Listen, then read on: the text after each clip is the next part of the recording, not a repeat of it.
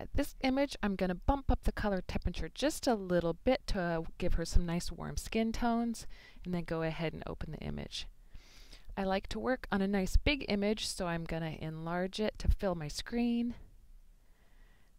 And now let's go ahead and tweak the levels on this image. It was just a little bit underexposed. We're going to bring the white slider down to the beginning of of the hump there. We're going to bring the black slider up and we're ready to go. First thing I'd like to do here is just make this Glamour Girl a little more glamorous by liquefying some of the elements on her body here. So just going to bring her tummy in a little bit and I'm going to slim underneath her arms and slim her arms just a hair.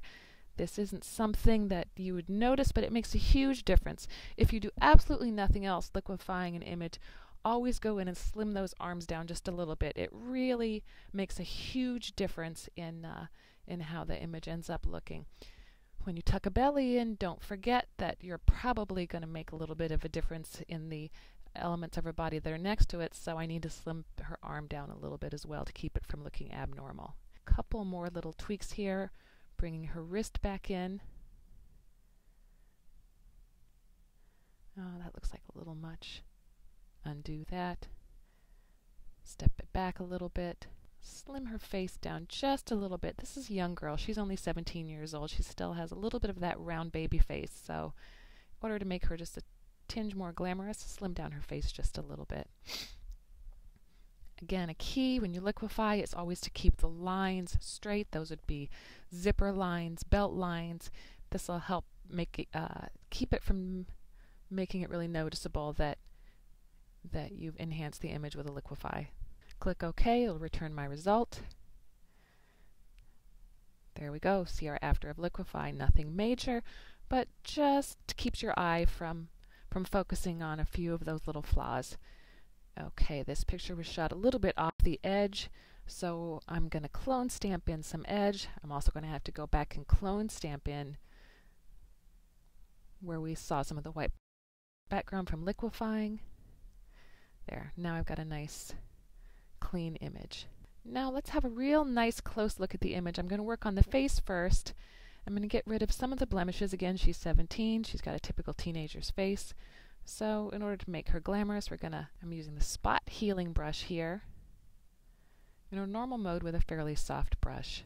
Cho choosing the uh, patch tool here just for some of these bigger pieces. And patch tool is great for the under eye. Pull it to a nice clean patch of skin and then always fade it. Uh, I needed to fade that a little more. So I'll step back, do it again. And she's young, so 50% will just give her a nice clean under eye look. Missed a little spot, patch that. Patch some of the more visible lines that I created. Now I know in this one I need to be down about 50%.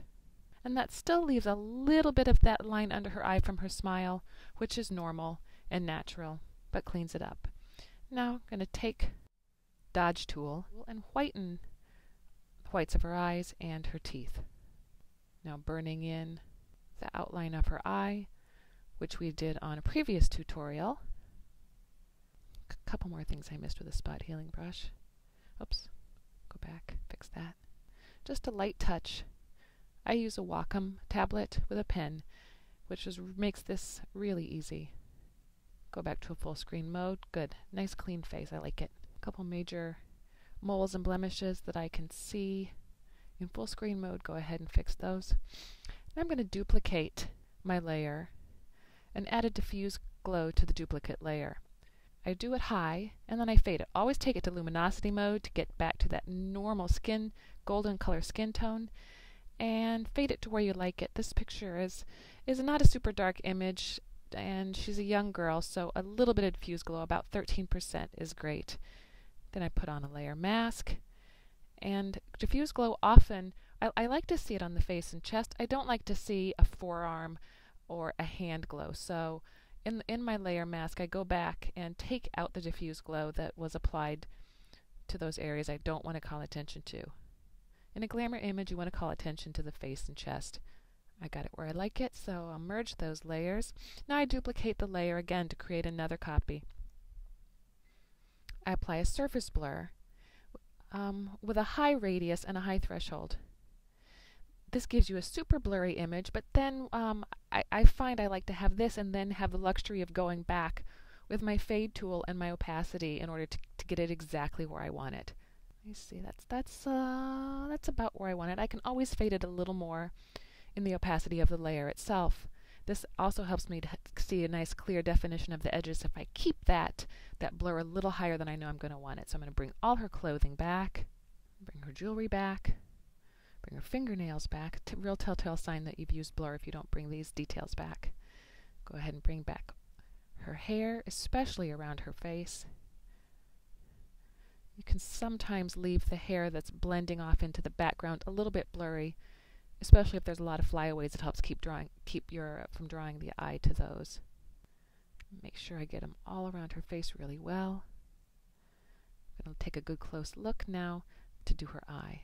Make sure you get the eye and the eyebrow when you're painting out the out that surface blur effect.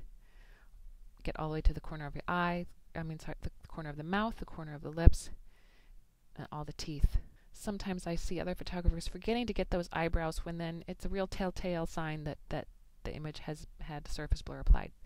Turn off the layer, turn it back on to see the effect of the color. Now, in order to be able to see the line of her chin, I take my brush, I turn my brush gray, which gives me about a 50% opacity in my paint back, just to bring some definition back to her jawline. I like it. Merge those layers create a duplicate layer once more. And now to finish off the image, really important to vignette the edges. I've found this really just helps the subject in the center of your image pop.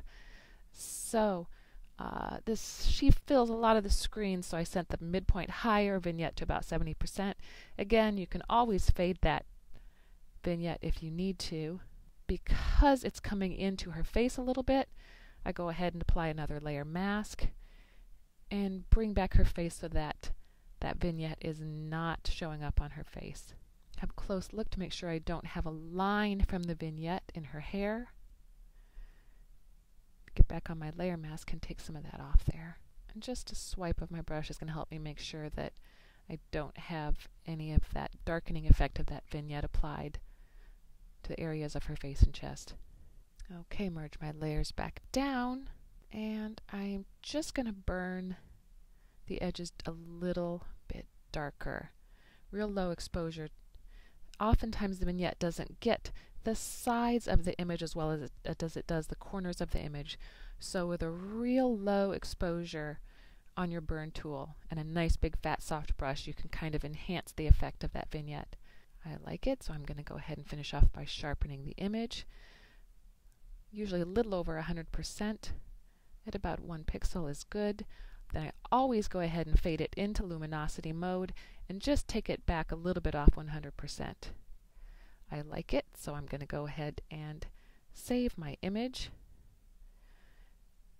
My high-res image I always like to call print, so I remember that that's an image that's print quality.